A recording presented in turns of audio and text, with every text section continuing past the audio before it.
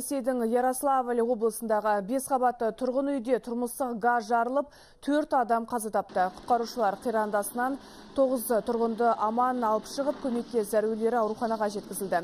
Соңғы мәліметке қарағанда ғимаратта балалар емханасы мен 20 пәтері орналасқан. Оның бесеуі опырылып он бесіне зақым келген. Мұнда он сегіз жасөспірімді қосқанда жүз он сегіз адам тұрады екен.